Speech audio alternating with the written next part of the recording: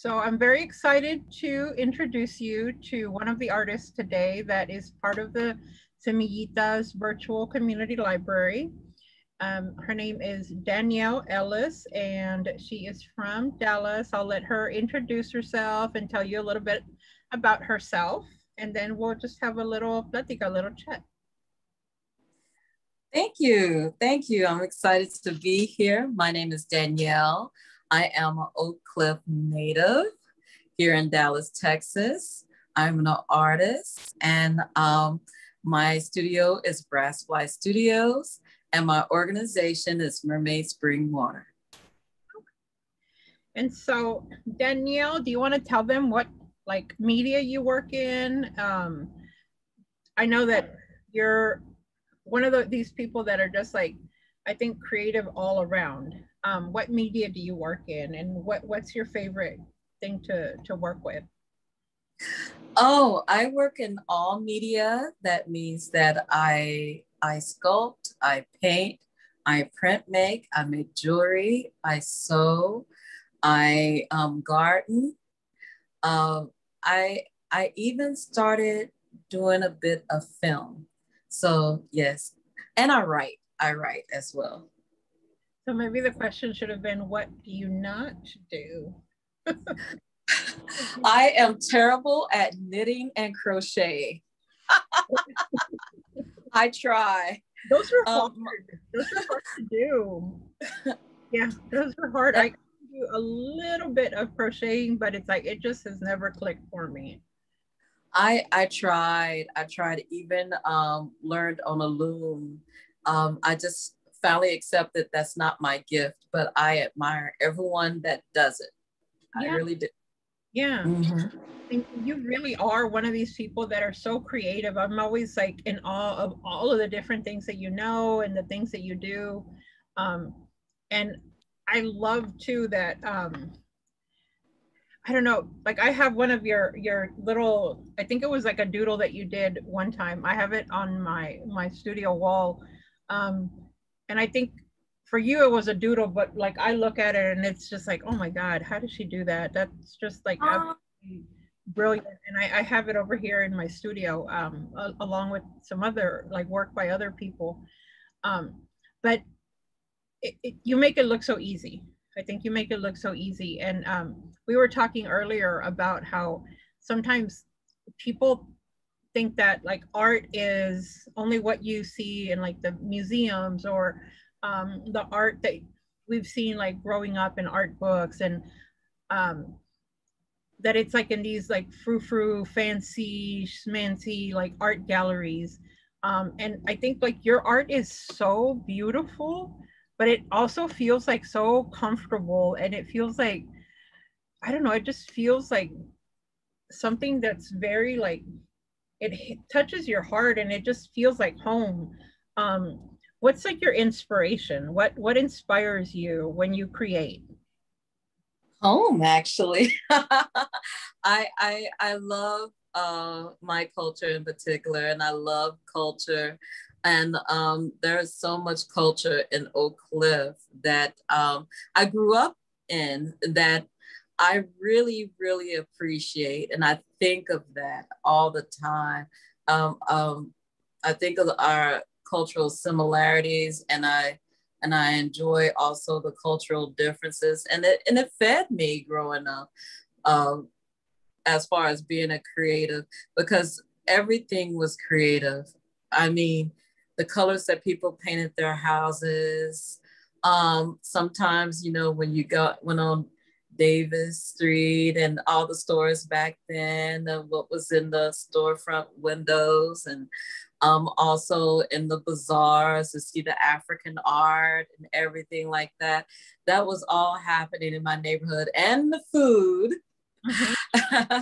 and so it's all this art, all this music, and just this lovely uh, array of happiness that um, I love about our neighborhood. Yeah and and it is it's it's inspiring to see like all of the beautiful things um, around us. Um, and you mentioned that like it's something that you've been doing since you were growing up. When did you realize you were an artist? When I was really, really little, the story goes is that my mom was sick of me um, drawing on the walls. so she started buying me art supplies, crayons and paper. And um, all the art supplies came from the drugstore, like the watercolors and everything. So I started working from there. And my my family pretty much encouraged it and kept me going creatively. Yeah. Nice. And I, I think that's important because sometimes like um like you get in trouble in school for like doodling on your your paper when you should be in class and like listening or like sometimes like I know I get onto my kids when they're like making you know a mess and and they're we have one that like we walked out the other day and and she had found spray paint and spray painted our um, fence with her name. And, but it it's a way to like express like what you're thinking and and it's it's art and it's creating um kind of with your hands and using your brains and so that's awesome that your parents encouraged that and instead of you getting in trouble for it that they were like okay let's get her something else to draw on and, and let's get her the things that are going to help to um to encourage that and look at you now. Oh, yes and then i i share i shared it with my child um my daughter she's autistic um she was not talking really when she was younger so um, one of the things that I got her to do was create art. I got her art, got out my art supplies, and she went to town and she still do artwork now. She's a great artist. She, yeah. She is. I've seen like the things that she makes, and I've I've talked to her, and yeah, I think um, seeing how talented she is at this age is just like, oh my god, what is she gonna do by the time she's like 18, 20, 30? So yeah, we're, we're mm-hmm. definitely gonna follow her because she yes she's young so i i'm with i'm you know even saying this to the kids she's young um she makes music and you know she's with the times with um especially with the digital art and the and the um digital apps to make music so um she can be making art or music off a pad or a phone um, that is one of the um, super accessible things for some kids to um, create with. And the fact that she is utilizing that is great. She is a great DJ and um, she make her own uh, compositions. And um, she also can draw too. I'm really about um, her having a technical hand, even with um, offline things because that's important as well. And she does that. And I, I'm really proud of her. I'm really proud of her. Yeah. She's, she's a pretty cool kid. We really love her. Um, I love your kids too. cool. They're pretty cool. We, we have some cool kids in, in, in the Oak Cliff area. Um, yes. What are, um, I know that you do art that's like in all of these different like um, mediums and and you work you sew you you you garden you do all of these different things but you also are very active in the community too. Um, yes. want to talk to us about that work that you're doing? Yes um, i am part of an organization called mermaid spring water where we highlight the the situation in Sand Branch, Texas. Sand Branch, Texas is a Black township just outside of Dallas in Dallas County, where um, when um, the people were free, the African American people were free, they created a town, this Black township, and they've been great. But the, the situation now is that they do not have clean drinking water out of the tap. They do not have that. Um, so they've been fighting for years to be included into um, our water system so they can have clean drinking water out of the tap. And um, that's been a long fight. and I we bring light to that and also supply water um, when needed for them and um, make sure they're hydrated um, and and going and have access to this this beautiful uh, resource that we have that is water. Yeah. No, and I, I, I love that too, that you have um, used your artwork and, and your connections to, to bring um, some awareness to that because we do for granted. Yes, we really do take it for granted. So um, when people hear is outrageous, you know, to hear someone right this close to home, this community right this close to us, not having the same access to resources that we have. So um, it makes you um, look at that and it's like, why? Mm-hmm. Why? Yeah. So what suggestions do you have for like kids if kids wanted to do something to kind of make a difference in their communities too like either with uh, sand branch or the water issue or just anything what what ideas or suggestions would you have for like kids and their families what are some things that they could do easy things um, for um, kids to be merfolk is to care about water. Um, do not waste water. Help your parents out. Don't let the faucets drip. Don't um, just let the water run um, endlessly for no need. Um, really conserve your water. Think about how precious our water resource is. Don't let anybody um, pour trash or or um, poisonous liquids um, down our sewer systems or anything like that. Just really care about um, our water. But the simplest with the kids, um, recycle um, or put your trash in the bins. Do not put them in the water. When you go in nature, take do not litter. Keep your um, trash with you so you can put it in the proper spaces. And um, that's pretty much it. Caring about your community is being a mer person. So you can do this. Yeah, I love that too, being a mer, per, mer person. Um, yes. Because like we don't realize that when we just throw trash out, like a lot of times it ends up in like in our waterways, right? Yes. Like, we throw something away in like on the sidewalk or the neighborhood, but it eventually makes its way to like the rivers and lakes and things like that. Yes, yes, and that affects um, our our lovely uh, water creatures as well as um, creatures on land uh, because they need water too. So we do not need them to um, be entangled in trash. So, yeah. Yes.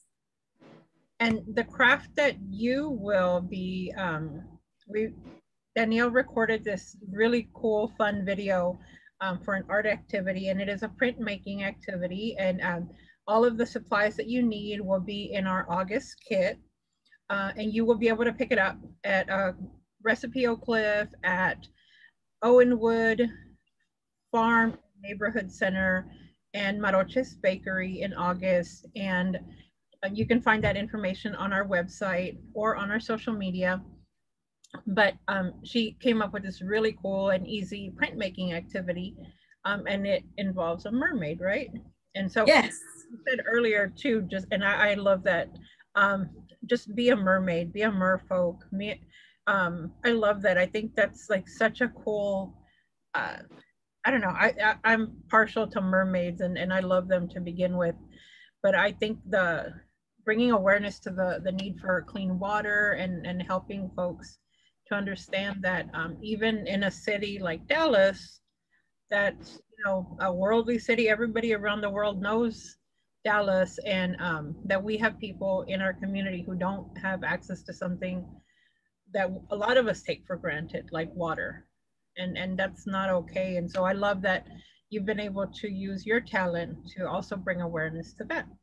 Yes, in the winter, uh, when um, the power was down and um, people didn't have water, we distributed a lot of water in the community. Um, so I think a lot of people are aware now that how uh, important it is to have water as a resource. And um, and I think I think um, we have a lot of great kids that's going to grow up to with that awareness and and share that. And I also, as far as mermaids and merfolk, and there's so many legends out there that surrounding water. I will say go out and read and find these legends all around the world. It's all around the world. Um, you can find them in your cultures and beyond about um, all these. Um, there's these fantasy fantastical. I can't talk. These great, these great um, um, creatures and and deities and um, just so much folklore of surrounding water it, because it's so it's water makes up um, I think about 70% of our bodies. So of course there's going to be this wonderful uh, array of stories surrounding water and um, caring about water, you're instantly one of us. I, I love that. And, and as you said that, I, I think it would also be cool. Like once the kids do the printmaking activity, um, maybe we can challenge them to create their own mermaid story that goes with it. That'd be a oh, absolutely. And what's so great about that craft? Um, the materials are so easy to acquire. Mm-hmm. Um, if they ever want to um, do future crafts with the same materials, you could find them in the grocery store. So, yeah. Yeah, no, it, it's it it's one of I love the the printmaking. I it's something that like I've started uh, trying to kind of play with a little bit, and it's so much fun. Um, and the way that you teach it is really easy too. And so I think the families are going to really enjoy that. Um, if somebody wanted to uh, donate or support Mermaid Spring Water, um, who or where could they get information on that? Well, they can follow us on Instagram or Facebook um, at Mermaid Spring Water, exactly as is, and we can keep you abreast of anything new that's going on with us, any volunteer drives, are, um, and we are, they could either um, go to Etsy, which is also Mermaid Spring Water, and buy a print. Each print, 100% goes into our uh, cause. And um, whenever Sand Branch asks for it and want it, we're sending them water. So um, keep keep following us, and you'll see what's next with mermaids. Um, be involved. Awesome. And if they wanted to follow and support your work as just in, as an artist, um, what do you have coming up or what do you have um, that's in the works or where could they follow you? Well, they can follow me at um, at Facebook at um, Brassfly Studios, um, or they can follow me on Etsy, Brassfly Studios. I plan on having new work there I also have work on Redbubble and they can buy prints or even buy a spiral with my artwork on it. Um, the next thing that's coming for me, I am hoping to have very soon even more affordable, accessible art through the um, art of downloads, doing digital downloads. Um, so for um, just maybe a few dollars, um, you're buying a quick print that uh, that you can print out a piece of art that you can print out or use as your screensaver or uh, anything that you like actually. So that's upcoming. And also I am going to be sewing quite a bit. So you may see on Etsy, the Etsy store, more um, simple, lovely outfits that um, you can buy, where I take fabrics and upcycle fabrics to make original pieces. Awesome. So then um, we'll be sure to post all of your information too on the Semillitas Facebook page, on the Instagram page, and also on our website. So that way people can follow you and get your info and um, see all of the great work that you're doing. Wonderful. I I'm a, I love your organization. Um, I really um, I'm very happy to be part of this.